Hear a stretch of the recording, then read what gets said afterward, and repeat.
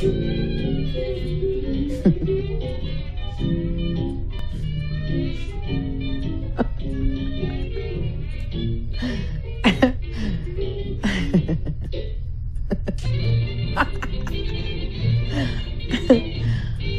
come on, baby. This is funny.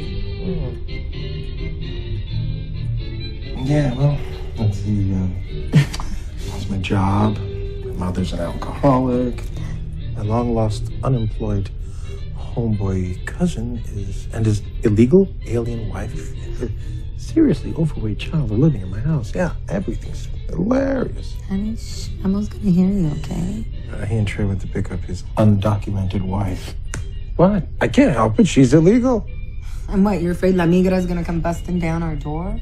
They might. I. Oh, baby, you're so ridiculous. What? We've had this conversation before, and you know I don't agree with you, so let's just not fight, okay? What? Uh, who's fighting? I just don't understand how you can, you know, justify allowing a bunch of people who are breaking the law into the country. Okay, they're not hurting anybody. How do you know? Some of them commit crimes.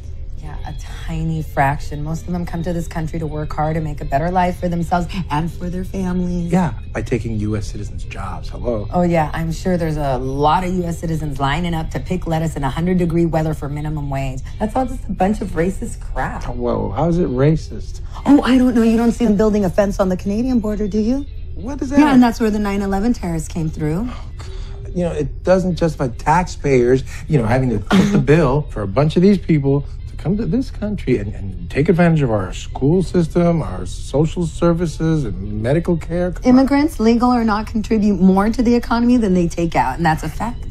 Yeah, What are you watching, NPR or MSNBC? Uh, They pay billions in taxes and into Social Security, and that's money that they're never going to see again. They're not going to get that back. what about the money that they send home that we're never going to get back? That's our money. Okay, yeah, baby, yeah, you're right. I know. Why No, don't we you're just right. Get, no, no, you're right. Why don't you're we right. just get rid of all the undocumented workers in the country, and we'll see how happy everybody is paying ten dollars for a head of lettuce, huh? Oh, please, that's not going to happen. It's just.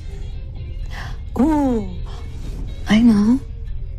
You can get a job picking lettuce.